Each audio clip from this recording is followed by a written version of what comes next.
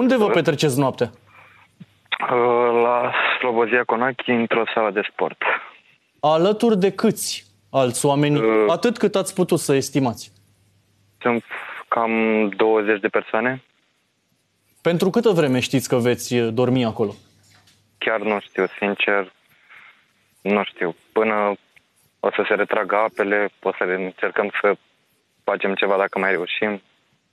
Chiar nu știu, sincer. Ce s-a întâmplat cu casa, cu gospodăria dumneavoastră? Păi, doriți să vă încep de gen să vă povestesc de la început cum s-a întâmplat sau... Mai degrabă mă interesează care e ultima imagine pe care o aveți în momentul în care ați uh, plecat, ați ieșit pe ceea ce era odată poarta casei. Am ajuns acasă în, pe la 11 jumătate, în 20 de minute când mi-a zis bunica mea să ies puțin afară, că se aude ceva apă sau ceva de genul, am deschis ușa și apa era până la genunchi, chiar și mai sus. Și aia a fost ultima imagine care mi-a venit în ochi. Și a fost foarte groaznic. Chiar mi s-au tăiat picioarele automat. M-am speriat foarte rău. Uh, Ce înseamnă când spuneți familie? Sunt curios câți oameni ar, ar, a trebuit să ieșiți, să plecați, să părăsiți casa? Uh, Eu și bunica mea. Atât am fost în casă. Doar dumneavoastră și bunic. Și ce vi s-a promis, domn... ce vi s-a promis, domnule Ștefănuț? Poftim? Ce vi s-a promis?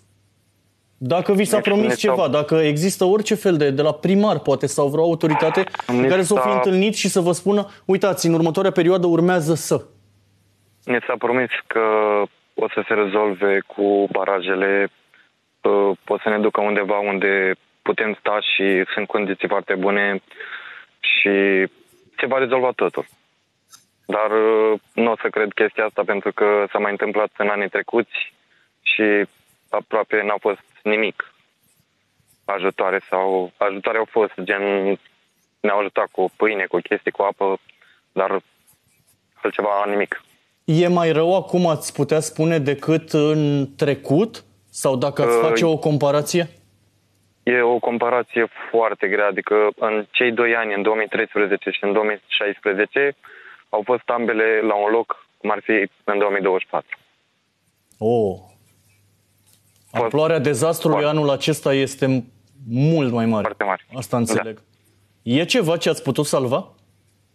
Absolut nimic. La ce, Nimic. cre- la, la ce credeți că vă întoarceți? Când spuneți, l- la un moment dat o să fiu din nou în curte, da, acasă. La, la ce anume vă întoarceți? Pentru că noi nu știm, de pildă, poate de aici, de la București sau de oriunde din țară, cât poate să reziste o casă. Da? Cu pereții care se moie din cauza apelor. Noi o să încercăm pentru că o să vină iarna și o să ne fie foarte greu și asta ne, ne întoarce înapoi, pentru că nu avem unde să ne ducem. Noi încercăm tot posibilul să facem ceva, să,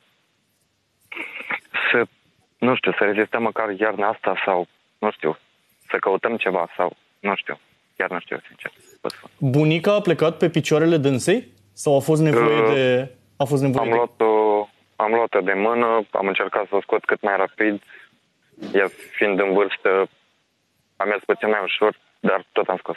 Doar Iertați-mă, de ea ce, mă interesează. ce vârstă are? 73. Mulți înainte cu, cu sănătate. Mulțumesc frumos. De asemenea, un om care a mai trecut prin aceste inundații. Da, a trecut de trei ori prin acest. În 2013, în 2016 și în 2024 acum. Iar casa a rezistat?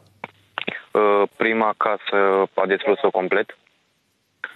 După am ridicat alta și puțin mai mare. A doua oară a intrat și în cea mare. Și asta a fost cea mai mare care aproape până la tavan am avut apa.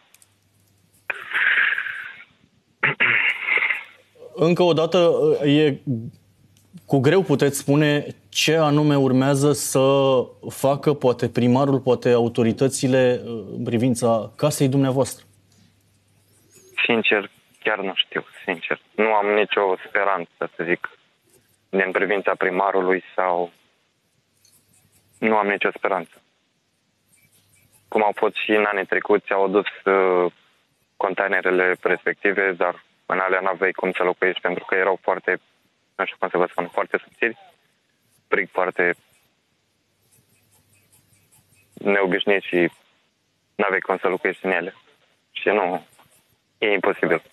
A scăzut nivelul apei în vreun fel, domnule Ștefănuță? Poate de azi Astăzi- dimineață, măcar de azi dimineață până acum, aproape de în curând miezul nopții? Azi, astăzi am fost acolo, am încercat să intru, când am intrat, am intrat până la genunchi în apă și când am ieșit din casă era puțin mai sus de genunchi. Creștea puțin și după scădea și creștea în continuu. E valabil pentru toată pechea? Uh, Uh, nu pot să zic pentru toată pechea. Eu am văzut cel mai bine pe zona mea, în zona respectivă, că a- suntem mai puțin mai jos și uh, acolo s-au strâns cea mai multă apă, zic eu după mine, ce am observat. unde lucrați? Uh, Deocamdată nu lucrez, am lucrat în Constanța, chiar am scăpat, gen, am scăpat mai repede de la muncă de acolo și am ajuns la timp în uh, Pechea. Da, e incredibil că spuneți acest lucru. Da. Că uh, poate a fost o, o șansă, dar cum să te gândești la așa ceva și ați putut ajunge mai repede acasă? Uh, nu știu cum mi s-a întâmplat, eram în oraș. Am zis că trebuia să stau până dimineață, că nu mai aveam autobuze sau ceva să vin în Pechea și m-am gândit, eu nu mai aștept și chem un taxi, mă duc până acasă și după 20 de minute ce am ajuns, am ajuns acasă a început uh, nebunia. Credeți că rezistă casa până vă întoarceți? Chiar nu știu, sincer. Nu știu. Dar știți ce fel de casă e? Adică îmi imaginez că un om ar putea să spună "Uh, n-am nicio speranță, e poate un pic mai bine sau mai mult decât chirpici. Sigur, uh, am dat un exemplu extrem. Un altul poate să spună nu-mi fac griji, uh, știu ce fundație am și pereți. Înțelegeți ce vreau să spun? Încerc să-mi dau seama. Da, da, Numai da. dumneavoastră știți cel mai bine dintre toți cât ar putea Un, ține uh, casa. Da. 60%. Mai mult nu pot să dau. Ce spun oamenii uh, din sala de sport, domnule Ștefănuță? Poate că unii dintre ei sunt vecini cu dumneavoastră. Apropo Da. de ce au pierdut sau la ce se mai întorc și n- nu mai puțin important, ce speră. Pentru că știți, Unii vecini. noi, noi oameni între noi putem, uh, măcar cu 1% optimism, ne putem alimenta unul pe celălalt. Știți, când uh, cineva este căzut, poate vecinul meu este uh, mai tare din fire și atunci uh, contează enorm. Bineînțeles și uh, o firmitură de optimism, poate. Toți cei de pe strada mea au pierdut absolut tot. Nu au reușit să scoată absolut nimic. Absolut nimic.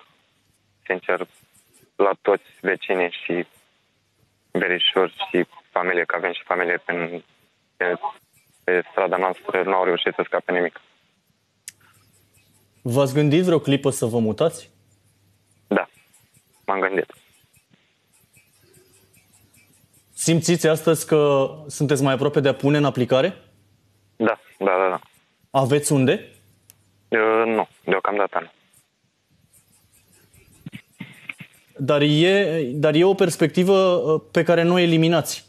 Pentru că noi, ca jurnaliști, uh, uh, am observat și mărturii ale unor oameni care spun în niciun caz nu pot. Și știți foarte bine că sunt- nu puțini sunt cei care, și poate că e de înțeles, spun uh, în niciun caz nu-mi las casa mea, gospodăria, nu mai am unde să plec. Și deseori, uh, poate că uh, vârstnicii sunt cei care spun nu mai plec, mamă, Da. nicăieri, unde să mai plec eu?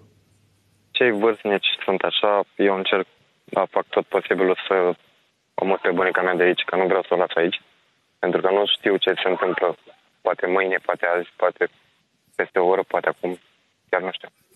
Rămânem în județul Galați. A acceptat primarul dialogul cu Euronews România. Pentru asta mulțumesc, domnule primar, vă salut. Vă salut și eu, bună seara dumneavoastră și telespectatorilor dumneavoastră. Ce e cel mai grav la această oră, domnule primar, în uh, Slobozia Conachi? Cu ce să începem? Cu oamenii, cu locuințele sau cu, virgulă, copiii? Le luăm pe rând. Dacă acceptați cât de scurt vă doriți, oamenii. Prioritatea zero au fost bătrânii, persoanele cu probleme speciale și nevoile care sunt în momentul de față. Avem 87 de copii care nu mai au nimic. Vorbim de un ajutor pentru copii în ceea ce constă încălțăminte, îmbrăcăminte și hăinuțe pentru școală. vrem să integrăm înapoi, să-i aducem la școală, că au imagini dezolante în casele în care locuiesc. E vreo stradă practicabilă la această oră, domnule primar, în Slobozia Conachi? Toate străzile le-am desfundat. Practic acolo am desfundat uh, noroiul care s-a așezat un metru, metru și jumătate. În locuințe toate sunt pline cu noroi, cu mâl. Toate străzile sunt practicabile, iar toți cetățenii care au fost în putere, în afară de bătrâni și cei cu probleme speciale, și-au scos tot ce au avut în casă. Nu mai pot folosi nimic. Străzile sunt practicabile. Am uh, primit uh, ajutor din partea colegilor, ajutor însemnând uh, buldă excavatoare, tractoare cu remorci, camioane și încercăm să eliberăm toate străzile ca să poată fi practicabile. În decurs de două, trei zile sper să reușesc acest lucru. Mi-am propus să, re- să reușesc lucrul acesta. Cam cât ar fi apa la ora actuală? De apa a scăzut. Ok. Nu mai este apă, nu mai a rămas mălul în locuințele Am oamenilor. Înțeles. Și în curți tot măl, atât. Asta a rămas atât. Pe toți cei pe care i-ați evacuat? Da. Cetățenii din Slobozia Conachi au rămas cu mâl și cu pământ în case și în curți. Am reținut. Pe toți cei pe care i-ați evacuat, i-ați dus în sală de sport? Nu, în sala de sport, în momentul de față, am 28 de persoane din comuna Pechea, neavând unde să-i, să cazeze, i-am primit la, la mine în localitate.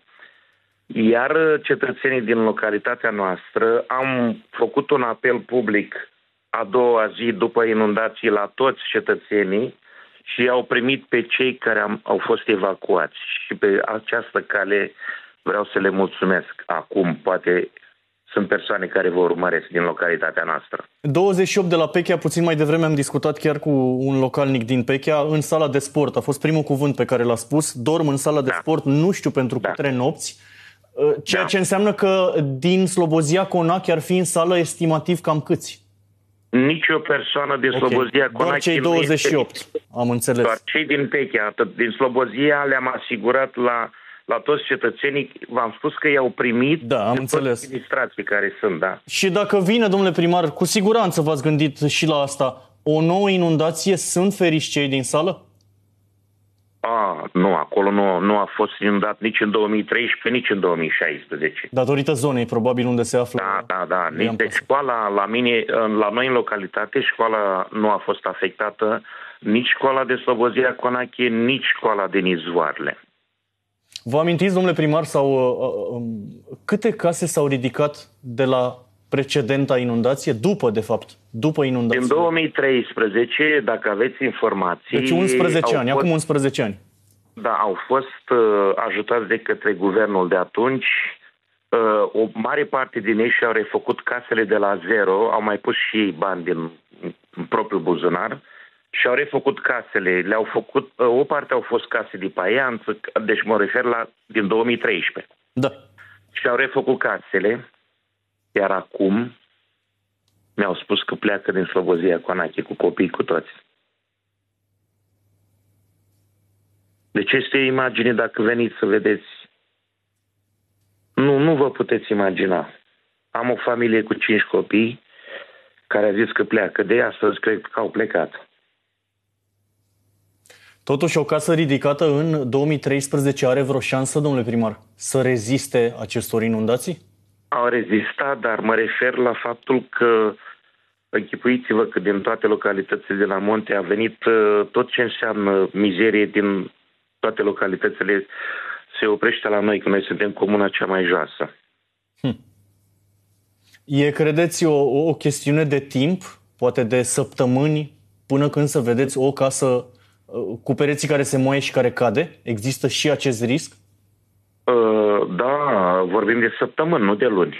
De săptămâni, de zi. Da, da, da. cum se usucă acum și cum o să le scoatem mălul din, uh, din casele lor, că am, uh, am primit ajutor din partea Ministerului Apărării Naționale, de la Ministerul de Interne și de la Jandarmerie și am, am deja 30% din locuințe le-am curățat astăzi și sper, eu sper că într-o săptămână, maxim două, tai mult două săptămâni, ă, toată comuna, cele 730-740 de case să le termin rapid să le scot mălul din ele. Mulțumesc, așa să fie.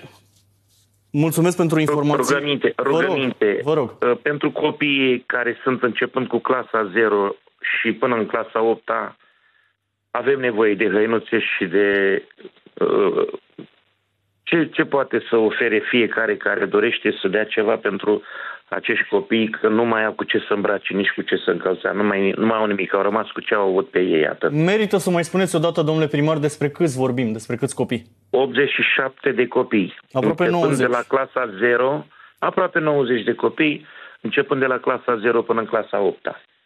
Noi, eu o să adaug faptul că sunt 40-41 de grădinițe, școli, licee uh, la nivelul județului Galați.